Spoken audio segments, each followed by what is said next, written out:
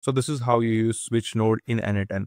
So let's say you have a customer CSV, which has got all the queries from your customer. Let's say you're running some sort of clothing brand and all the queries have come up uh, into some sort of sheet. Uh, and then you have a specific category assigned to that customer query.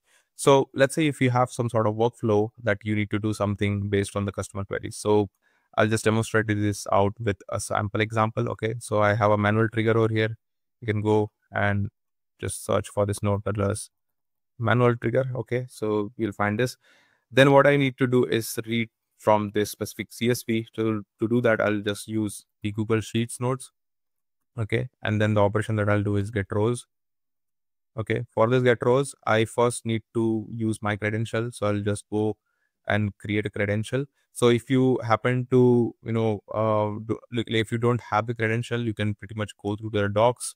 Uh, you need like some sort of Google account and all of that. So I already have a, a tutorial explaining how to get this credential. So I'll just basically log in using my credentials. Uh, and then what I'll do is continue. I'll give access to whatever it's asking and then continue. Okay.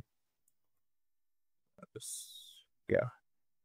So now with this credential setup, uh, you will basically be able to connect your Google Sheet to n8n uh, what I'll do is select the sheet within document. The operation that I'm trying to do is get rows.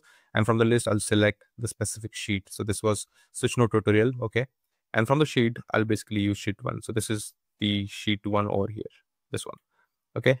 And now once you execute this step, you will basically be able to get all the rows. Let's say if you execute the steps, so you got 100 items over here. So if you see the count is 100 over here. Okay. So this is excluding the header. Um, now, what you need to do is, let's say, if you want to do something based on the category, okay, so you go and add a new node, which is switch node. So we can route things up based on the rules that we have. So we can have rules and we can have expressions as well.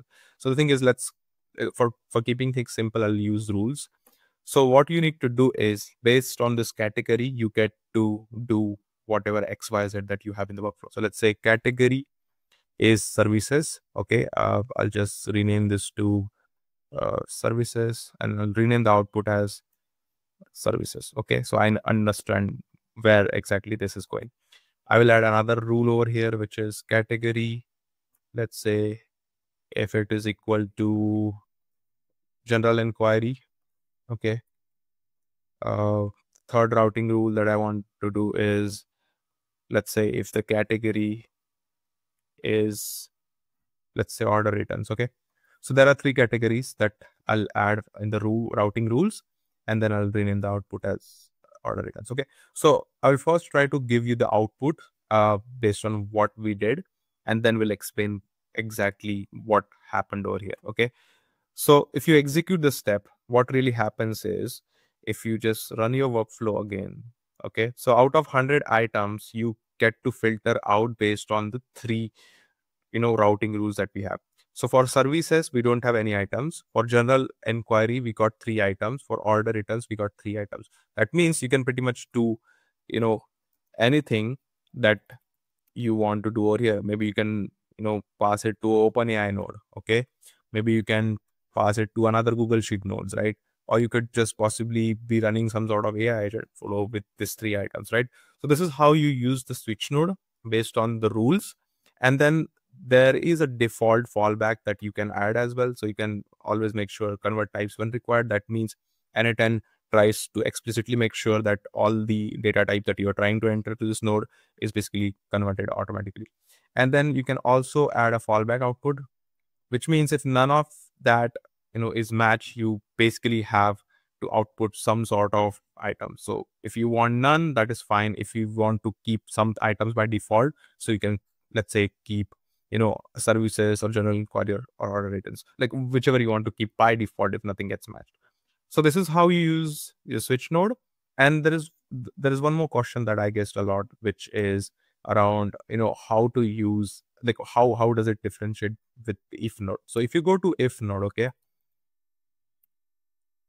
so for if node, you have got a value and basically you have a condition and the value, okay?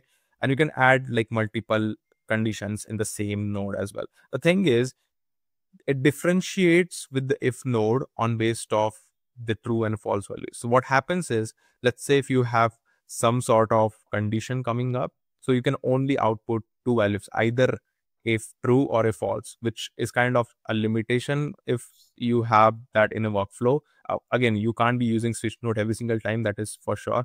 But yeah, for for if node, there is a differentiation based on you know you only need to use uh, the node if you are deterministic about some cases wherein it can go in true and false like or false so this is how uh, you know you will be able to select if your use case uh, is more of or you know can be built on if node or the switch node.